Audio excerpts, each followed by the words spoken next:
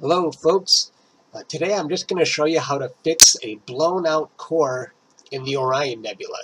And if you, if you look at the picture I captured from last night, you'll see that there's almost no detail in this section here. And what a lot of people do for, for something like this is they take longer exposures for the outside area of the Orion Nebula, and then they take shorter exposures for this section so that they don't blow out the core and that's probably the way I should be doing it. But if, if, if you don't do it, there's, there's an alternative to getting that detail back because it's, it's still in there even though it looks blown out. And the first thing I'm going to do is I'm going to create a mask of the nebula. Let's just blow this all the way up there.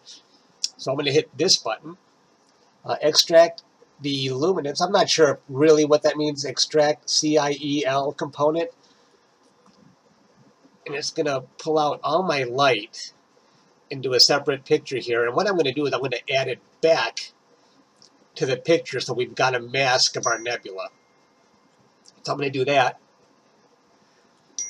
And what it's doing right there is it's it's going to protect all of the background from away from what I'm going to do. If I wanted to actually update the background, I could invert the mask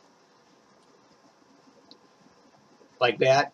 And now I would be protecting the nebula and not be able to update the background actually.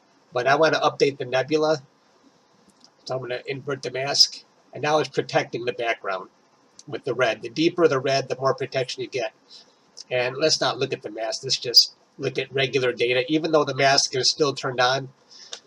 Now all we have to do is go into All Processes and click on HDR Multiscale Transform.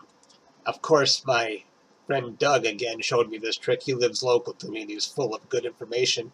And you can just leave the default values as is. Click this square here.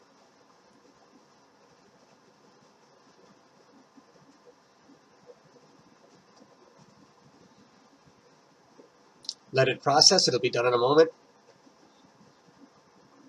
And look at that. We can actually see the core and the, and the stars that make up the core. If I zoom in, look at how much detail we just picked up.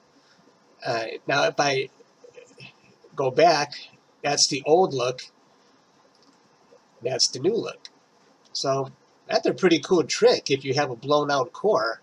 And, and all I did was use the default values of HDR multi-scale transform. So thanks again, Doug. That's a pretty good trick. So, okay, that's all I got. See you later.